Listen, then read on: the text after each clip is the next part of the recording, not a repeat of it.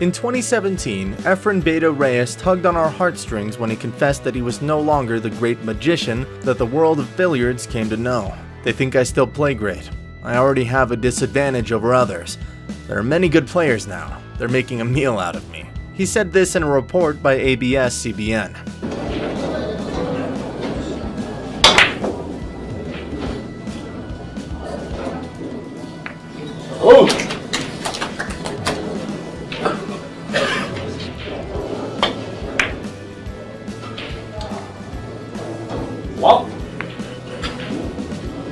Nothing is more heartbreaking than your hero saying these words of resignation with a hint of bitterness for the sport he dominated for decades. But true to his character, he offers a disarming smile, his other weapon to dispel our bitterness about his confession. It's as if he's saying, that's life.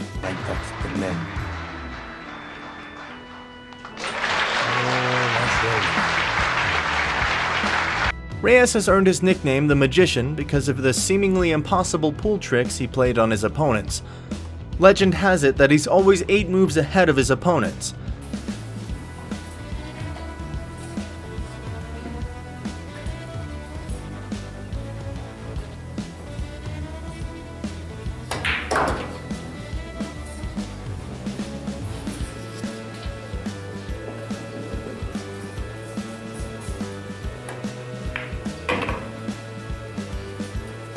He studies the table and predicts the shots, but now he faces his toughest opponent yet, which is time.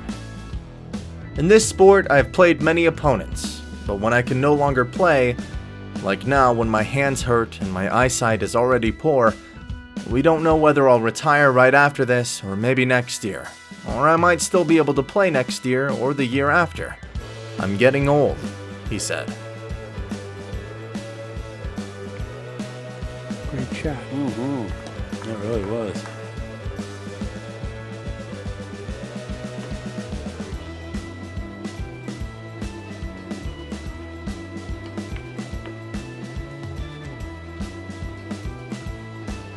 Reyes is easily in a league with the world's top athletes, many sports analysts considering him the greatest billiards player of all time. Many people might think that, considering Reyes' 70 international titles, including his four-time World 8-Ball Championship titles, he's up there rolling in cash with the likes of other all-time greats such as Manny Pacquiao, Tiger Woods, and Michael Phelps.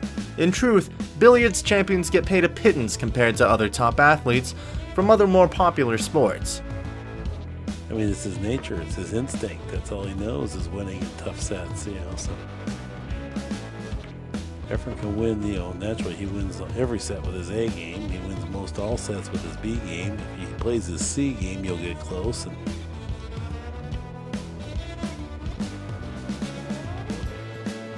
In 2017, Reyes lamented the rising cost of participating in a tournament, which usually cost $5,000 for airfare and accommodation.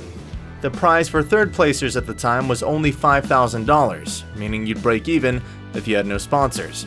At the height of billiards' popularity, the top prize at tournaments was usually $100,000. These days, that's down to $30,000 at most. In 2011, he pocketed a winning purse of $8,000 when he won the US Open One Pocket Championship.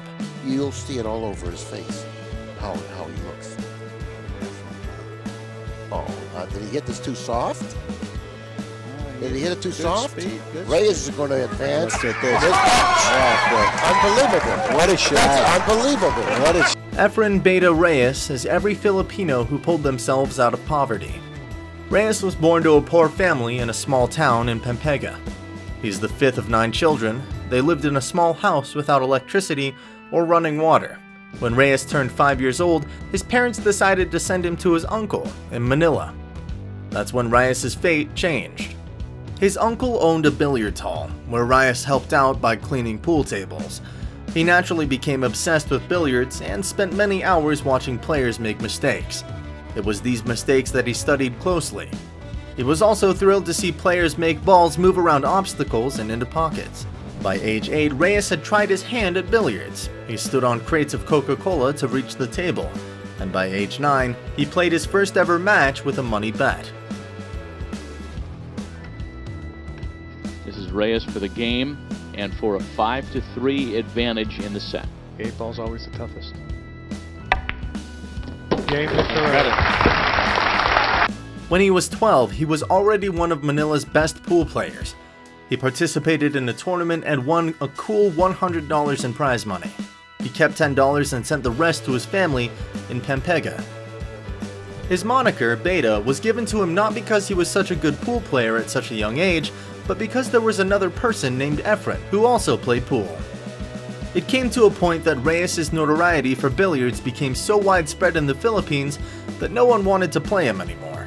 In his 20s, Reyes decided that the Philippines was a small pond and wanted to go into the ocean, so he joined tournaments in Asia.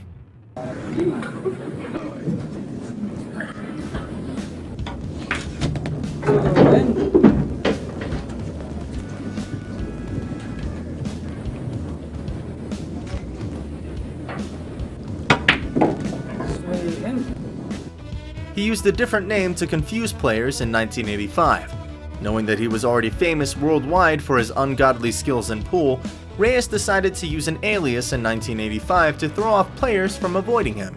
Instead of going by his real name, he used the name of his best friend, Cesar Morales, and surprised players at the Reds Open 9-ball tournament in Houston, Texas.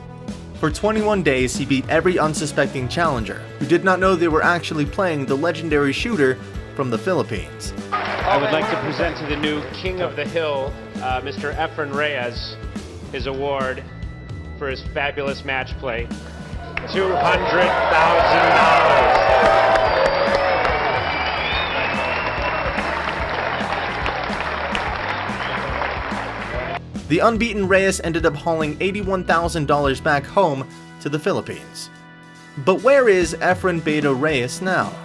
These days, in his twilight years, the legendary Reyes no longer plays pool. In the world of billiards, Reyes is held in such reverence and worship that he still gets invited to tournaments even if he doesn't play.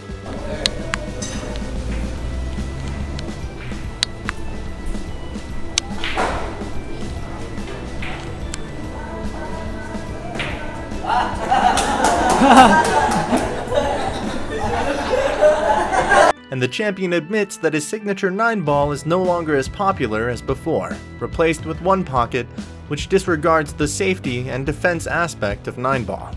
Present, Reyes lives in his home in Angeles, Pampanga, where he likes to spend time with his family and grandchildren. As for the future of billiards, Reyes humbly looks towards the younger generation to keep the Philippines torch alight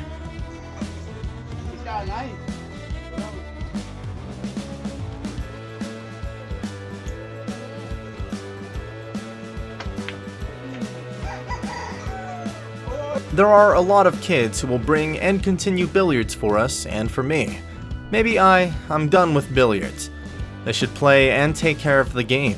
They have to do what happened, and I did. He said in an interview with Spin.ph. Reyes' star may be fading as the dominant player in the world, but his legacy as the humblest, simplest, and unassuming world champion with his ever disarming toothless smile will always be the face of Filipino sportsmanship, amid the aggressiveness and abrasiveness of most sports legends.